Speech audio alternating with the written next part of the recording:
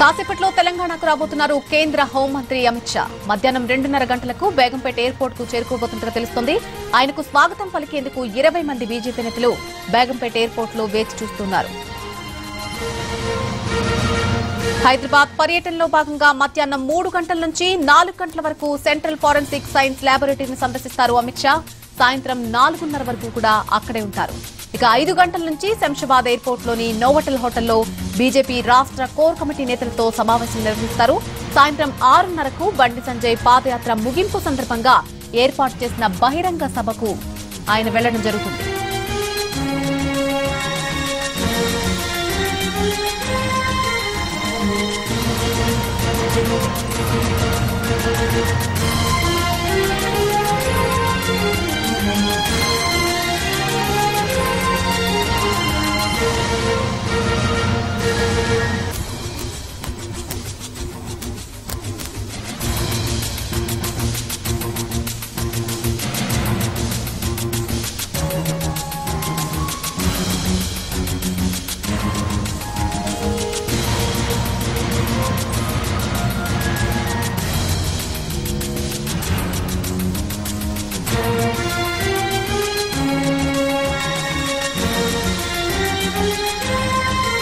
కాసేపట్లో తెలంగాణకు రానున్నారు కేంద్ర హోంమంత్రి అమిత్ షా. మధ్యాహ్నం రెండున్నరకు బేగంపేట ఎయిర్పోర్ట్ చేరుకుంటారు అమిత్ షా. అతనికి స్వాగతం పలికేందుకు ఇరవై మంది బీజేపీ నేతలు బేగంపేట ఎయిర్పోర్ట్లో ప్రస్తుతం వేచి చూస్తున్నారు హైదరాబాద్ పర్యటనలో భాగంగా మధ్యాహ్నం మూడు గంటల నుంచి నాలుగు గంటల వరకు సెంట్రల్ ఫారెన్సిక్ సైన్స్ ల్యాబొరేటరీని సందర్శిస్తారు అమిత్ షా. సాయంత్రం నాలుగున్నర వరకు కూడా అక్కడే ఉంటారు. ఇక ఐదు గంటల నుంచి శంషాబాద్ ఎయిర్పోర్ట్లోని నోవటల్ హోటల్లో బీజేపీ రాష్ట్ర కోర్ కమిటీ నేతలతో సమావేశం నిర్వహిస్తారు. సాయంత్రం ఆరున్నరకు బండి సంజయ్ పాదయాత్ర ముగింపు సందర్భంగా ఏర్పాటు చేసిన బహిరంగ సభలో పాల్గొంటారు అమిత్ షా.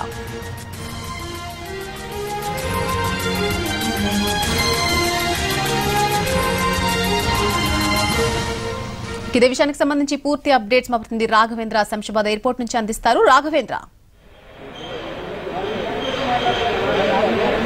థ్యాంక్ యూ నల్ని ఢిల్లీ నుంచి అమిత్ షా షెడ్యూల్ ప్రకారం రెండున్నర గంటలకు రావాల్సింది. అయితే షెడ్యూల్ ప్రకారం కాకుండా పదిహేను నిమిషాలు ఫ్లైట్ ఆలస్యంగా ఉన్నట్టుగా తెలిసి రెండు నలభై ఐదు గంటల ప్రాంతంలో బేగంపేట ఎయిర్పోర్టుకు ప్రత్యేక విమానంలో కేంద్ర మంత్రి అమిత్ షా చేరుకుంటారు.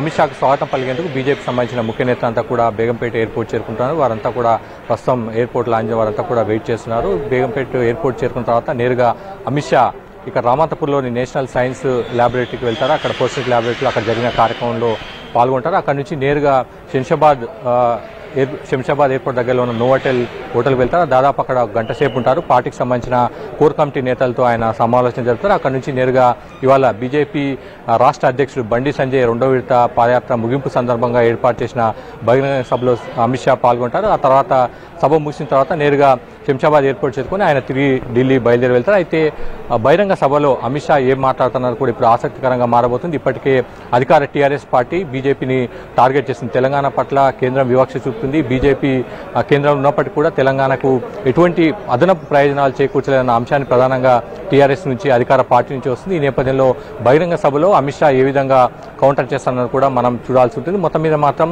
తెలంగాణలో అంటే ఇటీవల వరంగల్లో రాహుల్ గాంధీ సభ జరిగింది. ఇప్పుడు తాజాగా బీజేపీ జరుపుతున్న సభకు కేంద్ర మంత్రి అమిత్ షా స్వయంగా వస్తున్నారు. ఈ నేపథ్యంలో తెలంగాణలో కొంత పొలిటికల్ హీట్ కూడా పెరిగింది. అధికార పార్టీ నుంచి వస్తున్న విమర్శలను అమిత్ షా ఏ విధంగా తిప్పుకొడతారన్న కూడా మనం చూడాల్సి ఉంటుందండి అయితే రాఘవేంద్ర సాయంత్రం ఆయన తుక్కుగూడలో జరగబోయే సభలో ఏం మాట్లాడతారు? ఎటువంటి హామీలు గుప్పిస్తారనే దానిపై ఆయన ప్రసంగంపై కూడా భారీగా అంచనాలు నెలకొనున్నాయి. ఆయన ప్రసంగం ఏ విధంగా ఉండే అవకాశం ఉన్నది అనే దానిపై బీజేపీ నేతల నుంచి ఎటువంటి స్పందన వినిపిస్తోంది? అంటే ఇప్పటికే అధికార టీఆర్ఎస్ పార్టీ బీజేపీని టార్గెట్ చేసింది.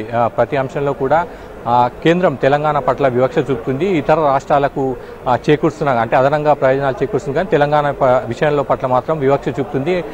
విభజన చట్టం ప్రకారం రావాల్సిన ఎన్నో హామీలు కూడా అమలు చేయాలన్న అంశాన్ని ప్రధానంగా కొంతకాలంగా టీఆర్ఎస్ పార్టీ నేతల నుంచి విమర్శలు వస్తుంది అదేవిధంగా తెలంగాణ ప్రభుత్వం కూడా అదే విధమైన విమర్శలు చేస్తున్న పరిస్థితి. ఇవాళ జరగబోయే సభలో ఖచ్చితంగా అమిత్ షా తెలంగాణకు కేంద్రం ఏం చేసిందన్న అంశాన్ని ప్రధానంగా ప్రస్తావించే అవకాశం ఉంది. అదేవిధంగా టీఆర్ఎస్ వైపు నుంచి వస్తున్న విమర్శలు కూడా ఆయన తిప్పికొట్టే అవకాశం ఉంది. ఒకవేళ బీజేపీ కనుక వచ్చే అసెంబ్లీలో అధికారంలోకి వస్తే ఏం చేస్తామన్న అంశానికి సంబంధించి కూడా కొంత క్లారిటీ ఇచ్చే అవకాశం ఉంది. బీజేపీ శ్రేణులను కూడా కొంత ఉత్సాహం నింపేలా ఆయన ప్రసంగం కొనసాగే అవకాశం మనకు కనిపిస్తుందండి. Right Raghavendra thanks for the live update